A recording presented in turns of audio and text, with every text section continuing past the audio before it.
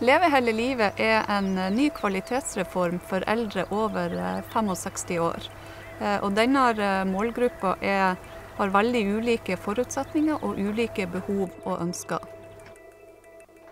Nei, du kommer ikke derifra. Nei, derifra og dit.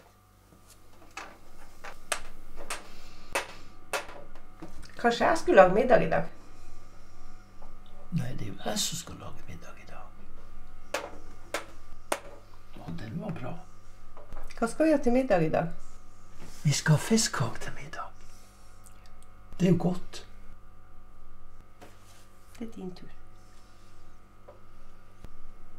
Hva skal vi ha til middag i dag, Gunnar? Vi skal jo ha fiskekake til middag. Jeg har jo sagt det.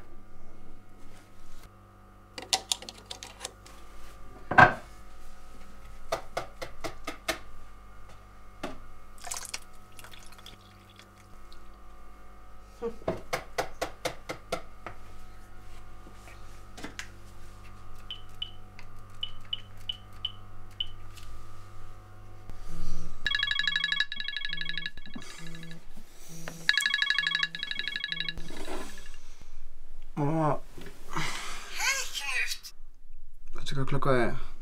Midt på natta. Du, kunne du deg å kjøpe en liten melk til meg? Nei, gå og legg deg. Berit? Hva du roper nå? Ja, hallo. Det er han Gunnar igjen. Ja. Ja, det er Berit. Mange eldre de eh, utvikler eh, demens, og dette det kan være ei stor belastning for eh, pårørende og for pasienten sjøl.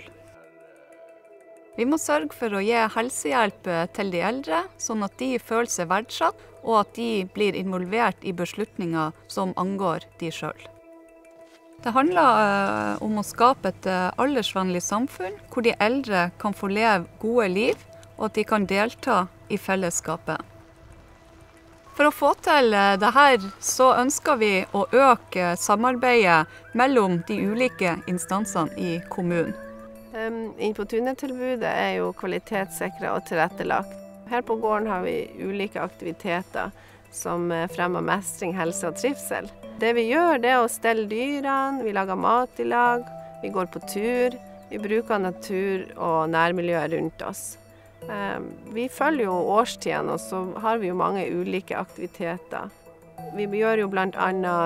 karding av ull, vi kan ta fram rocken og spinne litt.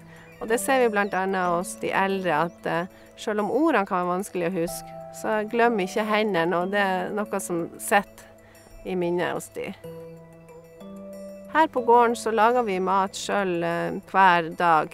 Vi henter egg hos høn, vi kan eh, lage vaffelrør, vi lager forskjellige ting, og vi spiser alltid sammen. Forskning viser jo at mange av de eldre eh, hjemmeboende kan eh, slite med døgnrytmeforstyrrelser og nedsatt matlyst. Så det å få spise sammen med noen og være sammen med noen kan ha stor betydning. Hvis du er hønemor over den, så flakser den ikke.